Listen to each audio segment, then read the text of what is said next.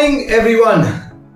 We are into the last Sunday of October, and we just left with two more months for the new year to come in. And I'm just so excited about the last two months because it's a time when there is Christmas, there's a lot of sharing, there's a lot of you know people going home, visiting homes. It's, it's just a fun and happy time, and I'm just excited about this entire season. And today, before we go into anything, I would like to just sing a few lines of a song titled Still, which is a Hillsong. And post that, we just go, go ahead. When the oceans rise and thunders roar, and I will soar with you above the storm. Father, you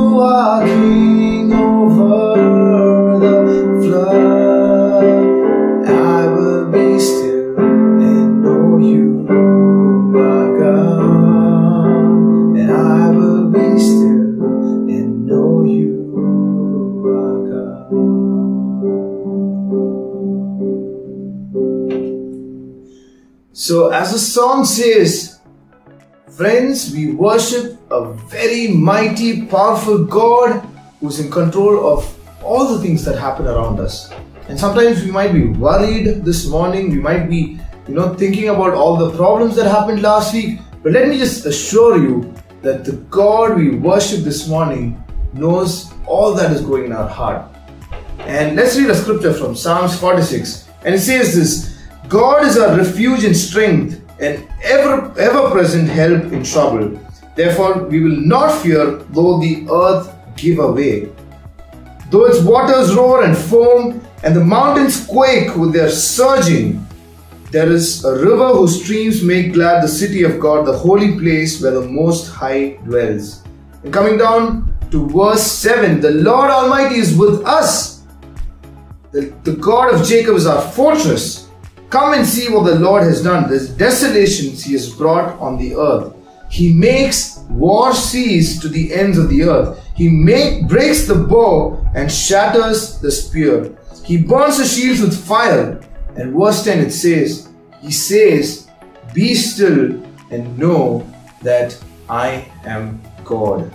I will be exalted among the nations. I will be exalted in the earth. Friends, let us trust this God who is, who is worthy of all praises, who is almighty, all powerful. And he says, just be still and know that I am God. Whatever worries we might be going through, be it our job, our financial problems, our mental health, our physically we're struggling with something, let us just submit everything to God this morning and give our whole heart as we grow in our learning and understanding towards God. Let's bow down our heads and pray. Father God, we're just so grateful for this beautiful, beautiful morning you've given us, Father. It's just a fresh, new start for us where we could just uh, forget about the past and just come towards you and just worship and honor you, Father. We just pray that help us to trust in you completely, Father. Whatever problems, whatever worries we might be going through, just help us to submit everything to your hands and give our full heart as we worship you this morning. Thank you so much for being with us as we take part in the communion. Help us to remember the cross. Help us to remember that Jesus died for my sins on that cross. Thank you so much for this wonderful opportunity. All this I pray in your son's precious name. Amen. Let's have a beautiful Sunday service ahead.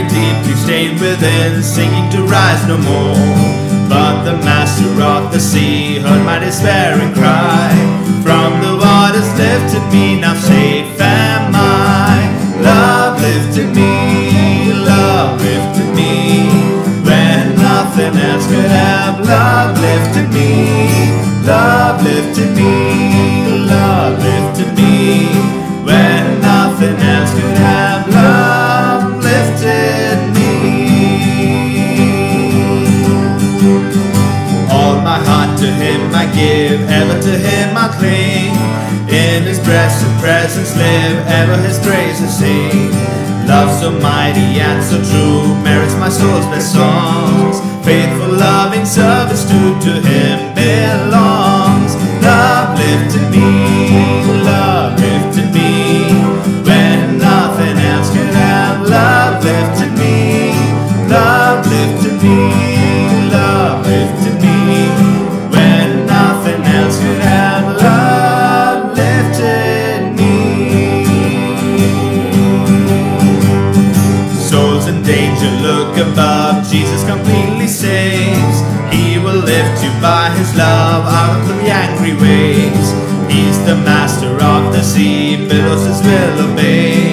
He, your Savior, wants to be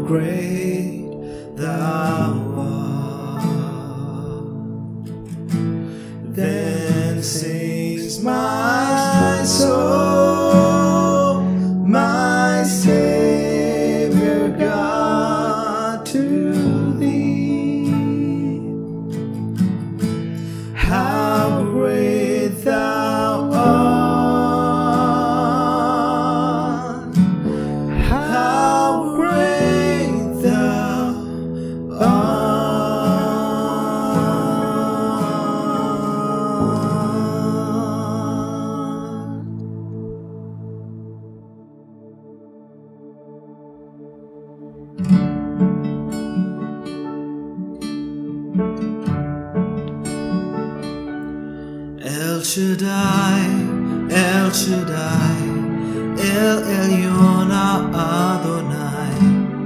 Age to age, you're still the same by the power of the name.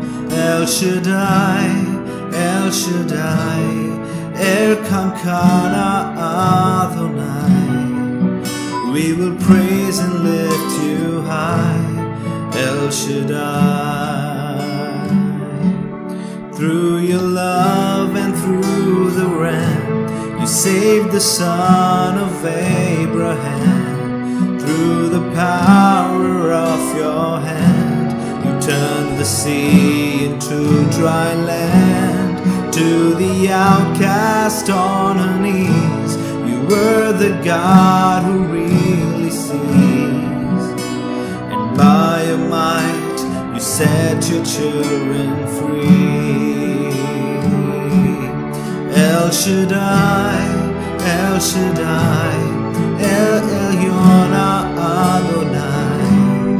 Age to age, you're still the same by the power of your name. El Shaddai, El Shaddai, El Kamkana Adonai. We will praise and lift you high, El Shaddai. Through the years you made it clear that the time of Christ was near,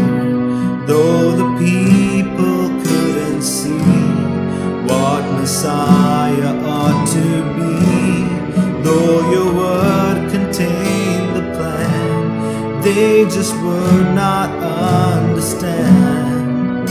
Your most awesome work was done through the frailty of your Son. El Shaddai, El Shaddai, El Elyon Adonai. Age to age, you're still the same by the power of your Shaddai, El Shaddai, El Kamkana Adonai. We will praise and lift you high, El Shaddai. Yes, I will praise you till I die,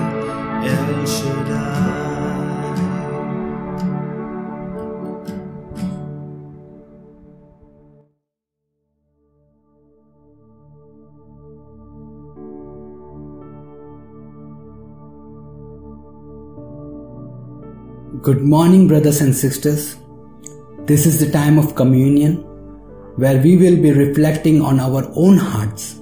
So let's turn our Bible to Luke chapter 23 and we'll read verse 18 to 25. And it says, But the whole crowd shouted, Away with this man, release Barabbas to us. Barabbas had been thrown into prison for an insurrection in the city and for murder. Wanting to release Jesus, Pilate appealed to them again, but they kept shouting, Crucify him! Crucify him! For the third time, he spoke to them. Why, what crime has this man committed? I have found in him no grounds for the death penalty. Therefore, I will have him punished and then release him. But with loud shouts, they insistently demanded that he be crucified. And their shout prevailed. So Pilate decided to grant them their demand. He released the man who had been thrown into prison for insurrection and murder, the one they asked for, and surrendered Jesus to their will. So here's the scenario. The Jewish leader have brought the Lord Jesus before Pilate for him to be sentenced to death. Now this is the second time the Lord has been brought before Pilate. Pilate does not want to harm Jesus because he knows that he is innocent, but the Jews are also pressurizing him. And so to bring in a, compro- a compromise, Pilate present, presents Barabbas to the crowd and asks them to choose whom they would like to set free. Now Barabbas was a, was a really evil guy. He was arrested because he was a rebel and had committed several murders. And what wrong did, did the Lord do? He healed people. He loved them. He did nothing but, but good. His only crime was that he loved hell-bound sinners and transformed them into saints. But who did the crowd choose? They chose Barabbas. Such was their hatred for the one who loved them so much that they would rather accept a horrible criminal than him. Barabbas is set free and he walks down to his people, and the Lord kept silent because the Lord Jesus knew that God would have to treat Jesus like Barabbas so, he, so that he can treat Barabbas like Jesus. Barabbas thought that it was the people who set him free. No, no, no. It was the love of the Heavenly Father. And you know, brothers and sisters, when I when I think of this passage, I realized who this Barabbas really is. He's me. He's you. He's us. We are Barabbas who have rebelled against God and have committed several murders in our hearts when we have hated our brothers and sisters for no reason. We are Barabbas. But still, the Father loved Barabbas. And even though Barabbas might never turn away from his sin and turn to God in repentance, he still loved him. And he loved him so much that he gave his only son. What would have happened if Jesus was released instead of Barabbas? The story would have been completely different and there would have been no way for us to be saved. But by rejecting his only and only begotten Son, Jesus, the Father was able to accept Barabbas. And the obedient Son took upon himself the wrath that was reserved for, for all the world, so that we can have the hope for salvation. And communion is a time where we are giving an opportunity to f- reflect on what God has done for us and then be grateful for it.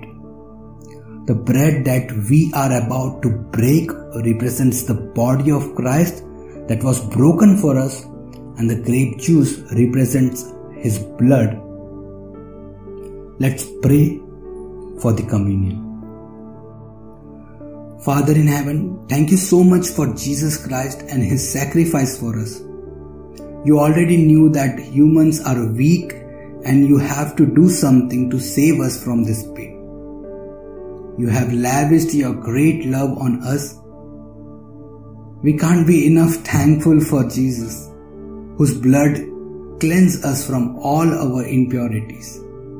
Thank you for giving another chance to get repent and come closer to you. Help each one of us to live a pure and holy life in this crooked generation.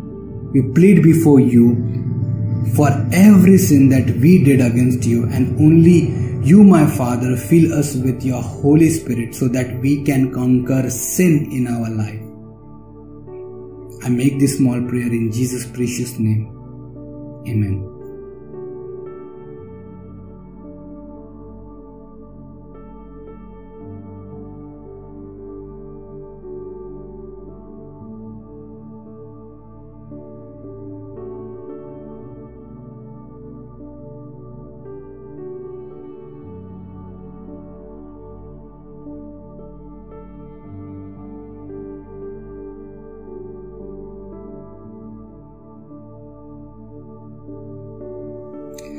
Brothers and sisters, now is the time of giving. Let's see what early churches used to do in Acts chapter 2, verse 44 and 45.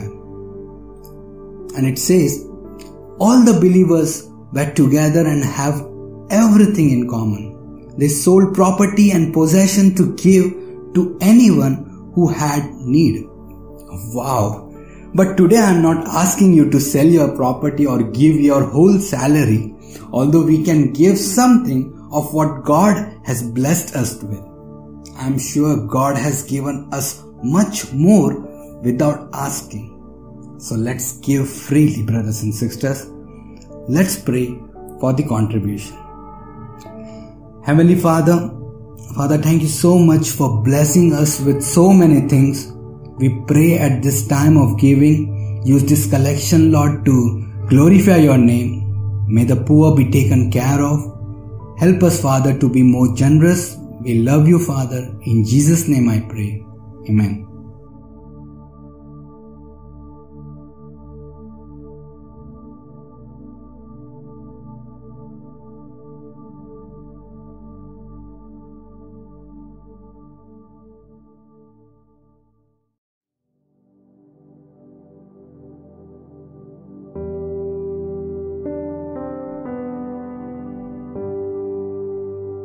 Good morning, church. Today is the last Sunday of the month of October. Just two more months are left, and then Jan 1st, 2022. Oh man, 10 months have just flown by. And another good news is that, you know, Mumbai is relaxing some of the restrictions for restaurants and shops and movie theaters and the number of COVID cases are also declining. So that is good. But please, please get yourselves fully vaccinated. The virus is still out there and you can still get very ill if you catch COVID. So once again, please ensure that you get vaccinated. Okay? So last week I spoke to you on Acts chapter 24. And today it is the first 12 verses of Acts chapter 25. So let me just give you a recap or a summary of what we have learned so far. So Felix, who was the governor of the province of Judea, is now gone and is replaced by Festus. And his replacement, that is Festus, has come. Felix, as we all know, was a procrastinator. He kept delaying the release of Paul. You know, Paul's accusers in chapter 24 could not give any evidence for their charges. And so Paul should have been released by now by Felix. And another thing that we learned about Felix was that, you know, he wanted a bribe from Paul. And so he would often call him to talk to him expecting some bribe. But on the other side, he also wanted to grant a favor to the Jews. And so he kept this enemy in prison. Okay. So that's how much we saw last Sunday. So today we are looking into Acts chapter 25. And my first point for today is the slavery of sin. So let's open up our Bibles to Acts chapter 25 and we'll read verses 1 to 3. Festus then, having arrived in the province, three days later went up to Jerusalem from Caesarea. And the chief priests and the leading men of the Jews brought charges against Paul, and they were urging him, requesting a concession against Paul that he might have him brought to Jerusalem, at the same time setting an ambush to kill him on the way. So, as we saw last Sunday, that Felix has been replaced by Festus. Now, why was Felix replaced? This was because Rome had come to know that under the rule of Felix, the whole province of Judea had become a mess. You know, Felix was not able to handle this province.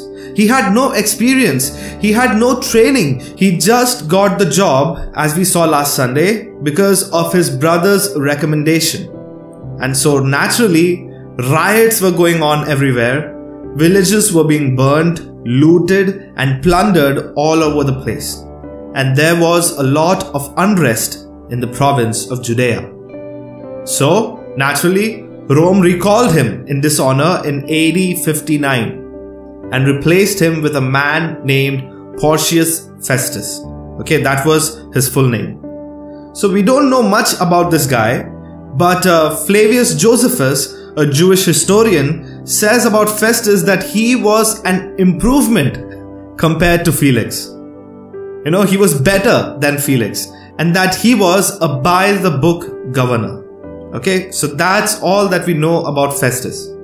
So Festus arrives on the scene in Caesarea, which was the Roman headquarters back then, and he spends three days there you know, getting himself up to speed regarding what was going on in this province, you know, getting to know the nature of his new job. And in just three days' time, he realizes that he needs to go to Jerusalem. Okay, that's how bad the situation in Jerusalem was. The hatred that these people had towards Felix and towards the Romans was really great. And so Festus realized that he needs to go up to Jerusalem so that he can meet up with the Jewish leaders over there and work on building, you know, a, a warm working relationship with them. And so he leaves for Jerusalem. And what does Luke say happens after that? Three days later, he went up to Jerusalem from Caesarea, and the chief priests and the leading men of the Jews brought charges against Paul, requesting a concession against Paul that he might have him brought to Jerusalem, at the same time setting an ambush to kill him on the way. Now, brothers and sisters, here's something that we need to really understand, okay? Uh, if you are holding your physical Bible in your hand, and your hand is on the page where chapter 24 ends and chapter 25 starts, take a look at that small gap between the two chapters. That gap, that little gap, represents two whole years. For these two years, Paul has been in prison. And that may seem, you know, sad to us.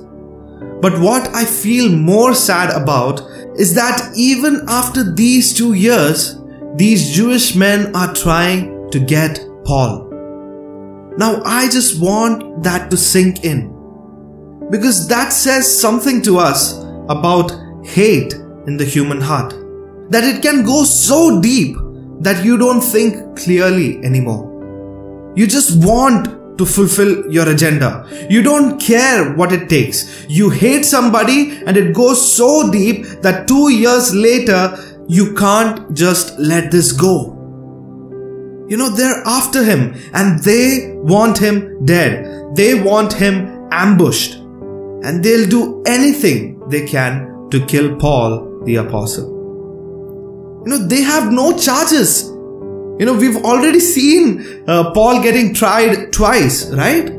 And he's going to be tried a third time now in these few verses that we're going to cover this Sunday, and again a fourth time in the rest of the chapter we're going to look at. And that, my brothers and sisters, is the slavery of sin and it is scary. It shows how history tends to repeat itself.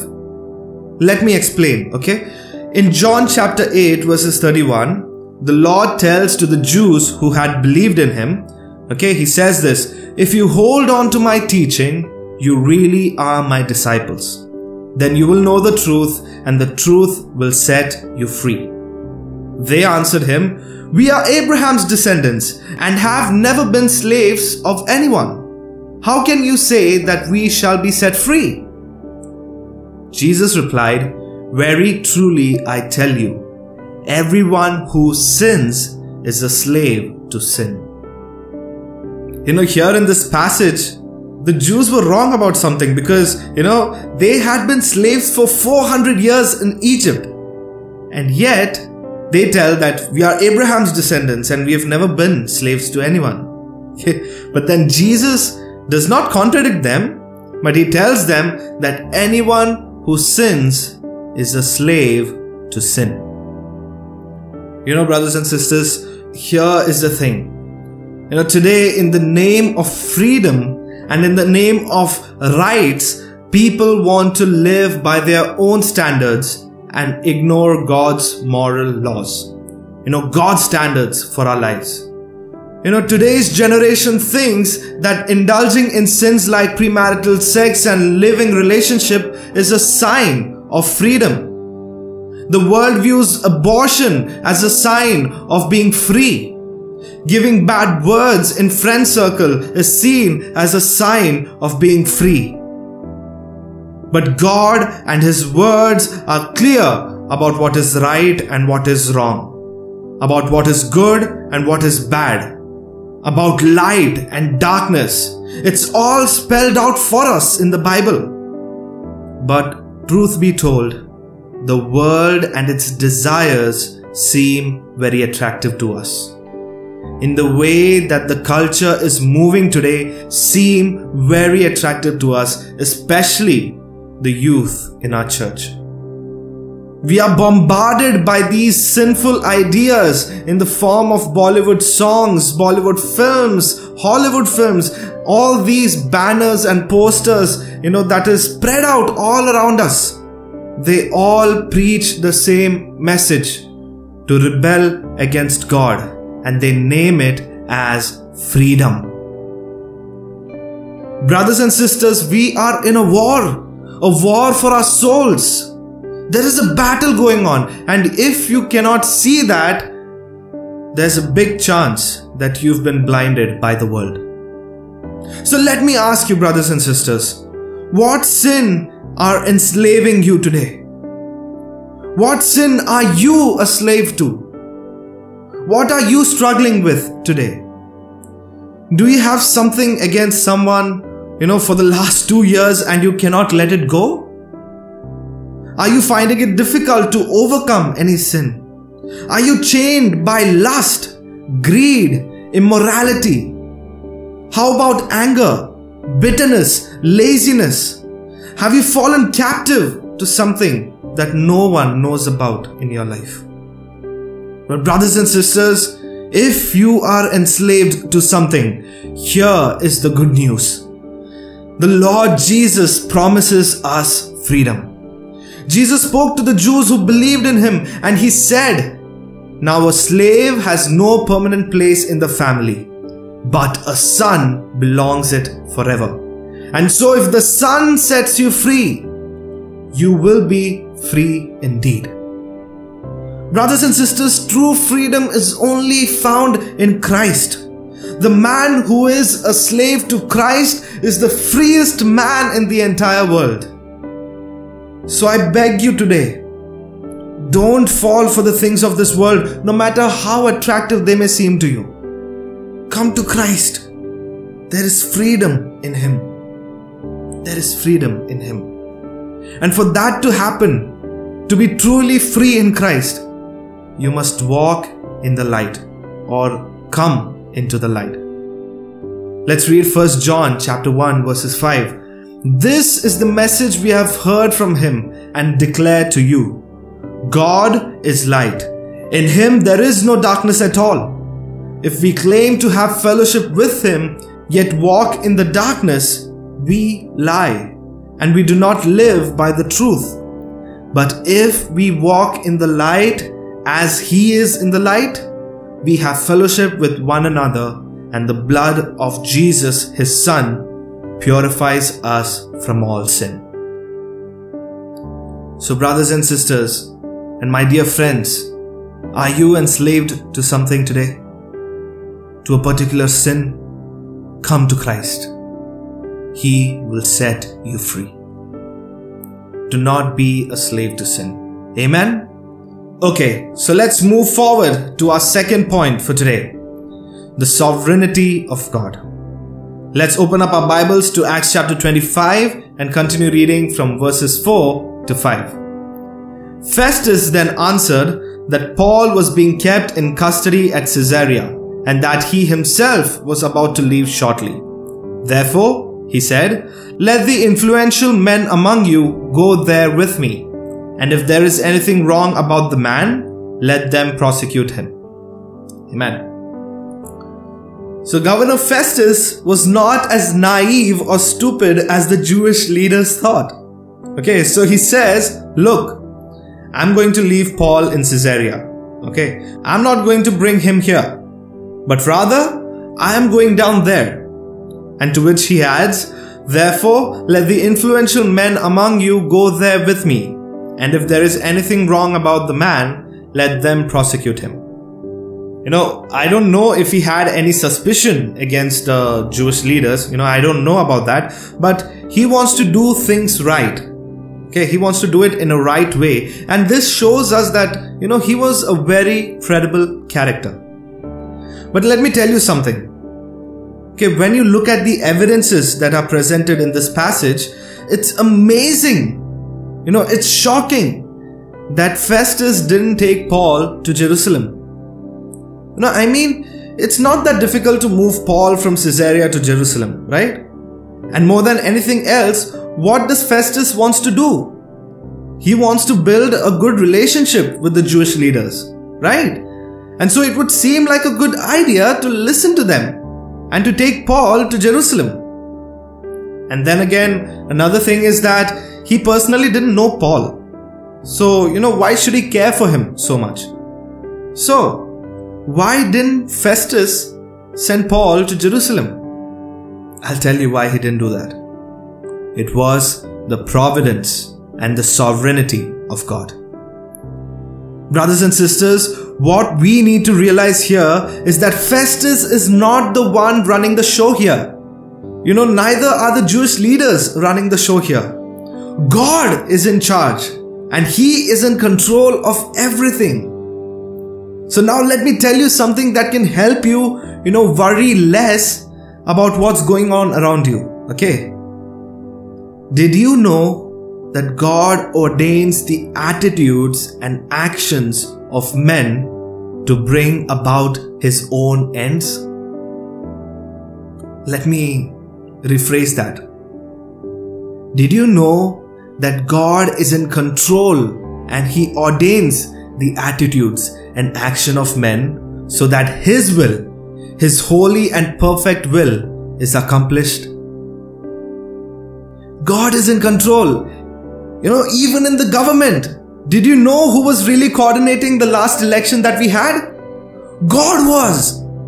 Okay, to that you might ask, so you're trying to tell me that, you know, God got those people elected in the office? Absolutely. Now, we may not understand why God does what He does, but one thing we can do is that we can trust Him. Now, let me give you an example. You know the incident where the Lord Jesus was before Pontius Pilate, and uh, even after all the allegations that were brought before him, the Lord Jesus stood silent. To which Pilate tells him, Do you refuse to speak to me? Don't you realize that I have power either to free you or to crucify you?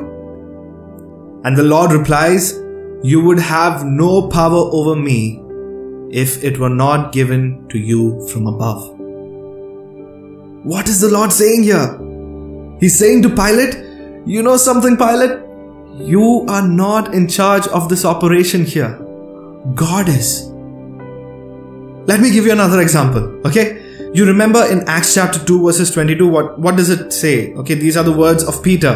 He says, "Men of Israel, listen to these words. Jesus the Nazarene, a man attested to you by God with miracles and wonders and signs which God performed through him in your midst, just as yourselves know. This man, now listen to this carefully. This man delivered over by the predetermined plan and the foreknowledge of God, you nailed to a cross by the hands of godless men and put him to death. You know, Pilate and the Jewish leaders were only carrying out the plan that God had planned out and ordained. God was in control when the Lord Jesus was being crucified to death. Again, in Genesis chapter 45, you know what happened, right? You remember that the brothers of Joseph sold him into slavery, right? They sold him to a caravan going to Egypt, and then he wound up in Egypt, then with Potiphar, and then with the Pharaoh, and became a ruler, right? And his brothers arrived, and then Joseph talks to his brothers, and look what he says in Genesis chapter 45, verses 7. He says, God sent me before you to preserve for you a remnant in the earth and to keep you alive by a great deliverance. So, who do you think really got Joseph into Israel? Not his brothers. God did. And do you know what would have happened if Joseph had never gotten into Egypt? All of his brothers may have died in a famine that came, and the messianic line, you know, the lineage of Jesus Christ, would have ended with that. So, God, to preserve the messianic line, had to preserve that family. And so, God sent Joseph in advance to Egypt to make sure that when the famine came, Joseph would have Egypt all stacked up with enough extra wheat. Okay. Now notice in verse 8, what does Joseph say? Now therefore, it was not you who sent me here, but God. You know, it doesn't get as plain as that, brothers and sisters. That's providence. God using the natural circumstances in the world to bring about his supernatural desires. In Daniel chapter 4, verses 25, Daniel tells these words to King Nebuchadnezzar The Most High is ruler over the realm of mankind and bestows it on whomever he wishes. You know, he's telling the king that all the people who are kept in authority, all the kings, all the politicians who are there in the world, they have been placed there because God chose them to be there, to bring about His own plans. And then by the end of that chapter, this is what Nebuchadnezzar himself says about the Lord. Okay? His dominion is an everlasting dominion, and his kingdom endures from generation to generation. All the inhabitants of the earth are accounted as nothing, but he does according to his will in the host of heaven and among the inhabitants of earth. And no one can ward off his hand or say to him, What have you done?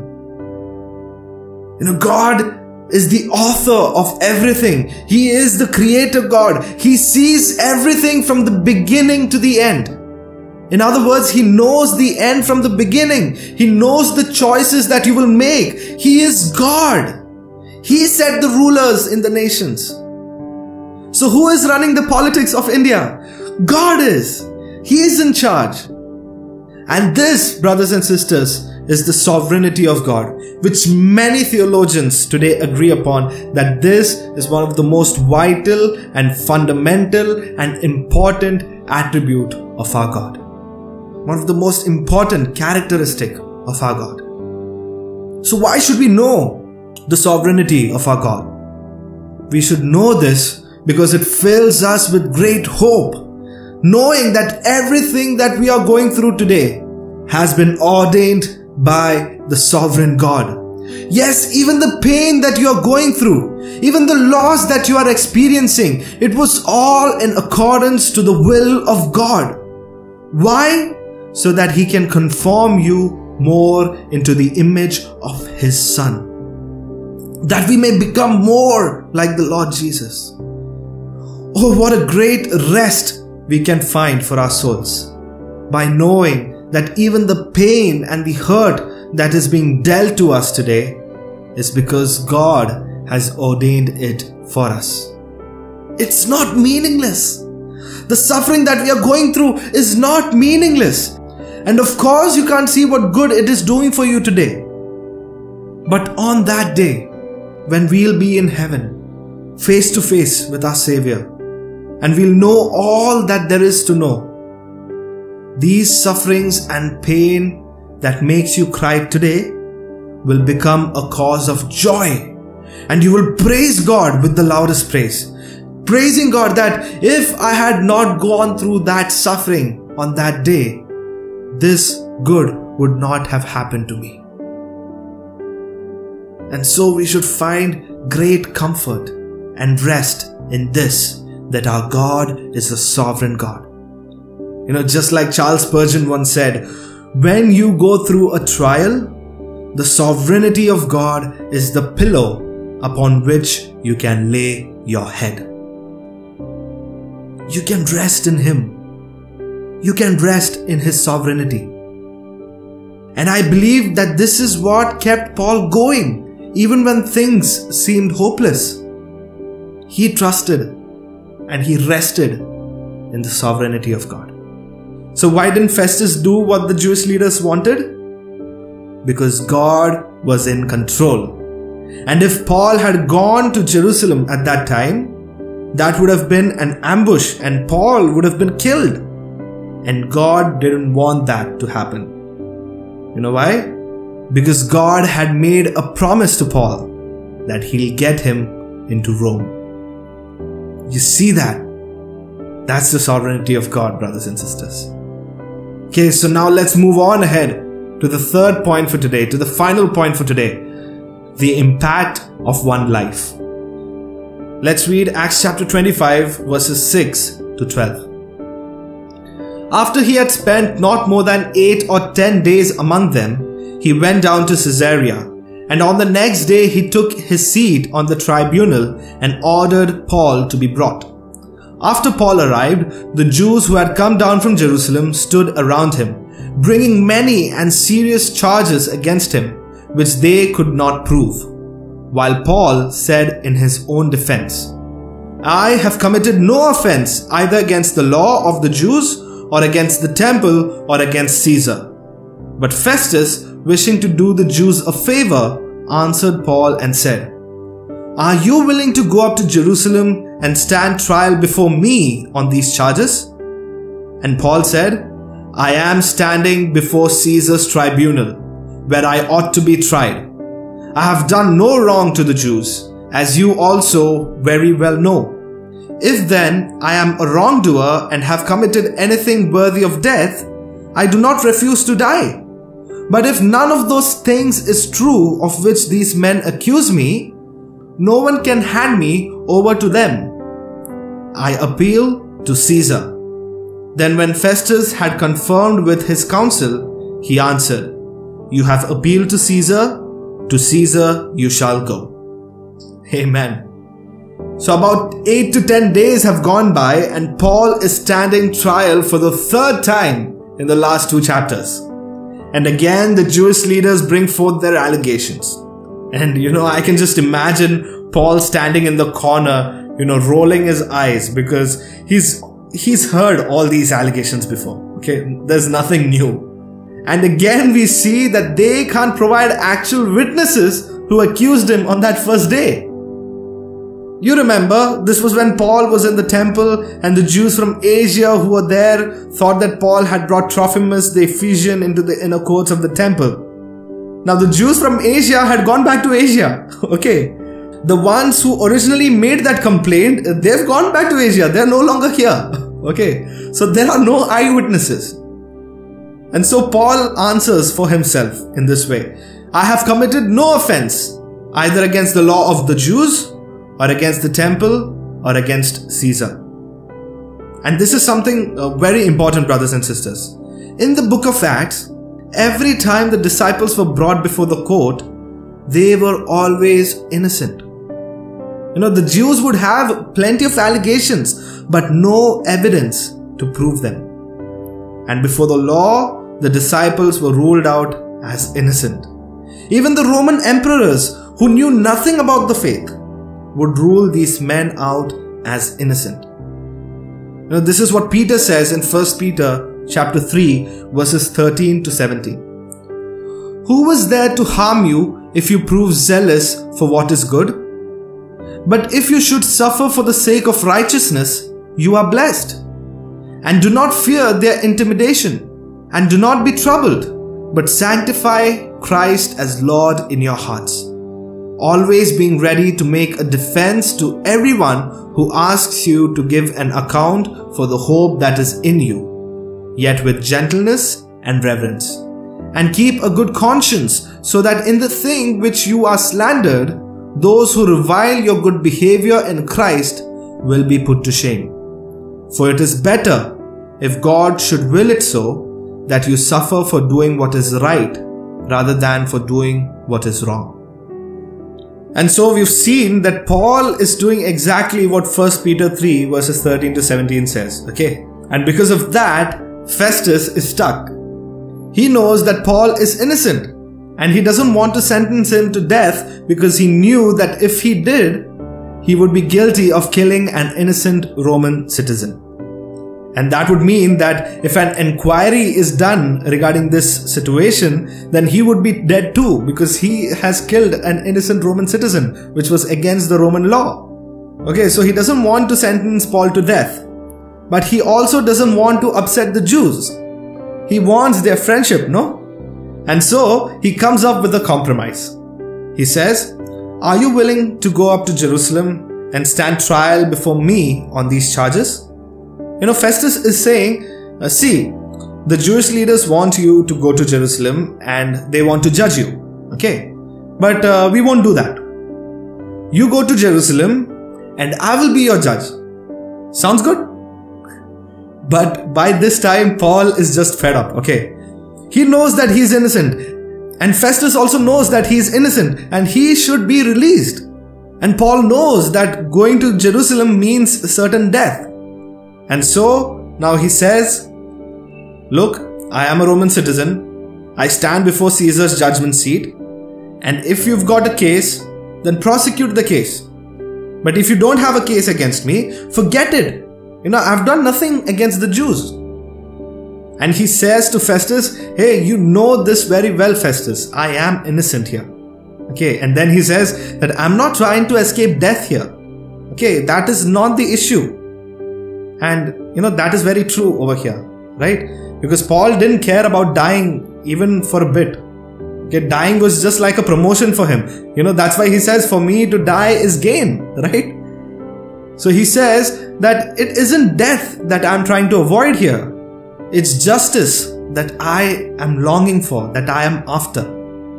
Brothers and sisters, let us remind ourselves here again that Paul is talking to a Roman governor here. You know, he's not just talking to a random person on the street. You know, these words are really, you know, bold and they are really courageous, right? And if you think that this is courageous, then wait for what he said next. Okay, he says, I appeal to Caesar. Now, Paul knew that he was getting nowhere in Caesarea. Okay, he was stuck in the political battle that was going on, and he was the victim of the whole thing. And so he says, I appeal to Caesar.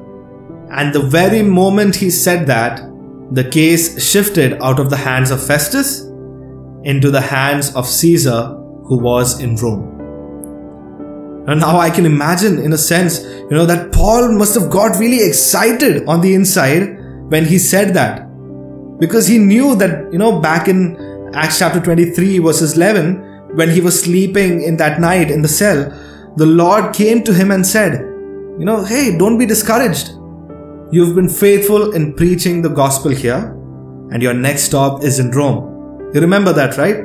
So he knew that God was getting him there, and when he finally said the words that, you know, I appeal to Caesar, you know, he must have been really excited. You know, his heart must be pumping and thumping right now, realizing that this was his ticket to Rome.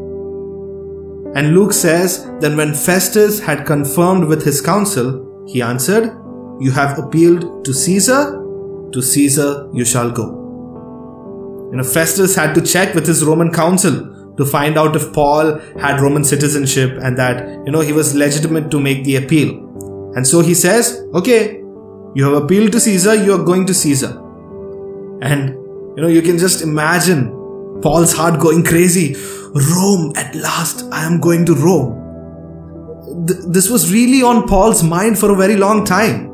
And he had written about it in Romans chapter 1, verses 11 to 15. Let's read that. For I long to see you, so that I may impart some spiritual gift to you, that you may be established. That is, that I may be encouraged together with you while among you. Each of us by the other's faith, both yours and mine. I do not want you to be unaware, brethren, that often I have planned to come to you, and have been prevented so far, so that I may obtain some fruit among you also, even as among the rest of the Gentiles. I am under obligation both to Greeks and to barbarians both to the wise and to the foolish. So, for my part, I am eager to preach the gospel to you also who are in Rome. You know, he had this desire for a very long time in his heart. And finally, it was coming true. And now, all of a sudden, his heart must be thumping. I'm going to Rome. I'm going to Rome. I'm going to Rome. Imagine his excitement, brothers and sisters, here. So, let me just give a confusion here. Alright? There are times in our lives where we ask this question, okay? Probably to someone else or even to ourselves. The question that what can one man do? You know, what difference can one man make in this big world?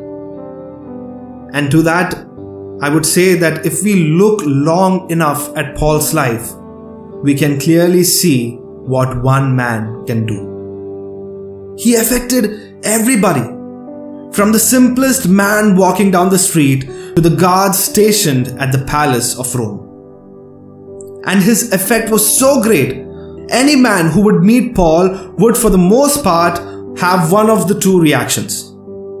They would either bow down their knees to the Lord Jesus or they would turn back and try to kill Paul. Isn't that right? In Paul's life, we can see the impact of one totally dedicated life. Only eternity, brothers and sisters, will be able to measure the impact of that one man. And I was thinking while preparing this sermon that I know that I could never have the impact that Paul had on this world. But this is my prayer, you know, and this is my prayer for each and every one of us that we would be able to maximize whatever impact we can have on this world. That we would set in order our priorities. That we would maximize our time. And that doesn't mean that we run around doing as much as work as possible. No, but rather it means that we find out the priorities in our lives that really matter and then work accordingly. Maybe the best way that you can maximize your life is to pour it out on three other people who will be able to multiply it in the future. You know, I don't know. But all I know is as Christians, we ought to realize that one man can affect a whole world if that man is right before God. Being completely sold out for Him. And that ought to be a challenge for each and every one of us today. Two months are left for this year to end. How are you going to make sure that you make an impact on this world? Always remember, brothers and sisters, that the sovereign Lord is working in your life and mine to do His will.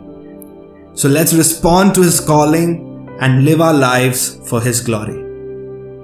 In Jesus' name, Amen.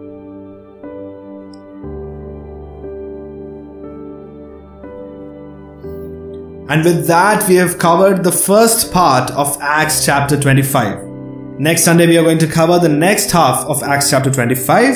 And then there are just a few more chapters left for the series to end. But I really hope that you are getting encouraged and convicted and challenged by this series that we are having on the book of Acts. Please continue to revisit these podcasts and these messages because every time you do, you will take something new to learn. Now, before we end the podcast for today, let's have a final song. And I'll be seeing you next Sunday, same time, same place, right here on YouTube. Until then, may the grace of our Lord Jesus Christ the love of God, and the fellowship of the Holy Spirit be with each and every one of you. Amen.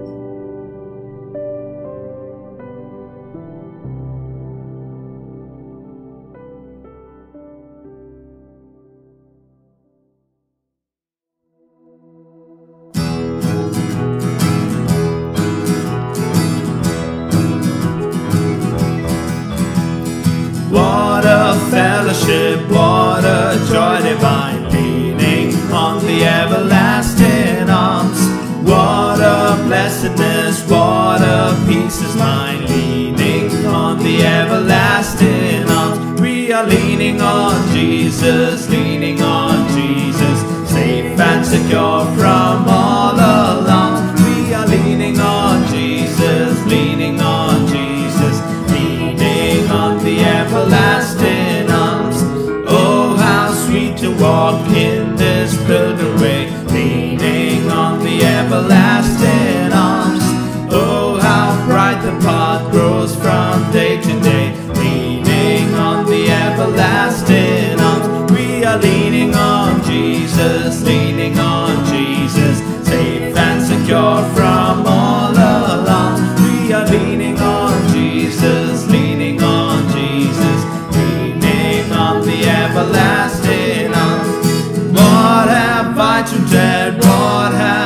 to fear, leaning on the everlasting arms.